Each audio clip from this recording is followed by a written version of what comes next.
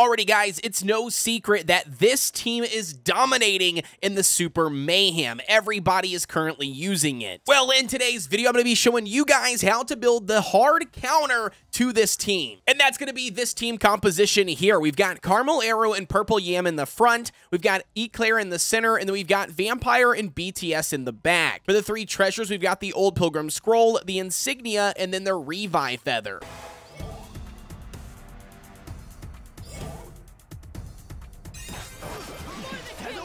Escape this. Whirlwind! Right, that Ice drink. Darkness, be gone! Escape this. Right, that down! I need drink. And whirlwind!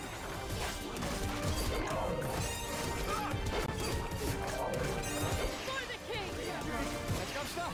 Has awoken. Darkness, be gone! And whirlwind!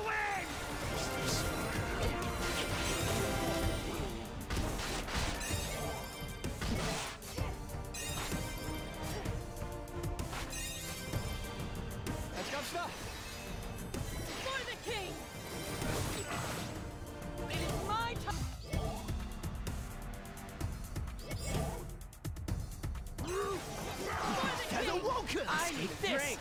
Let's go stop. Darkness, be gone! And whirlwind! Right, that's down! Escape this. I need a drink. Right, that down! And whirlwind! Let's go stop. For the king! Has awoken. And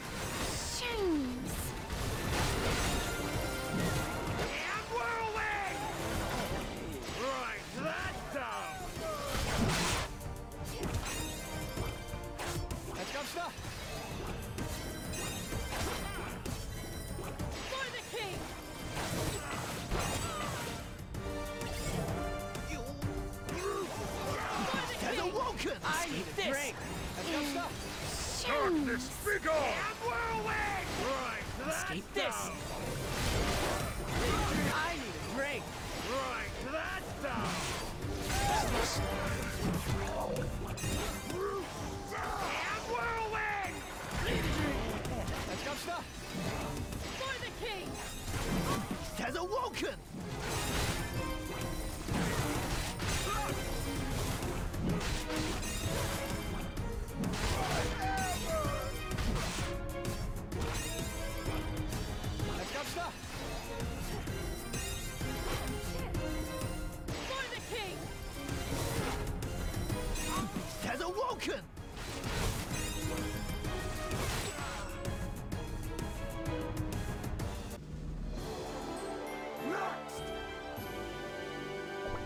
When it comes to the toppings of choice, we've got solid almonds on purple yam, caramel arrow, and eclair. All three of them are going to be running solid almonds.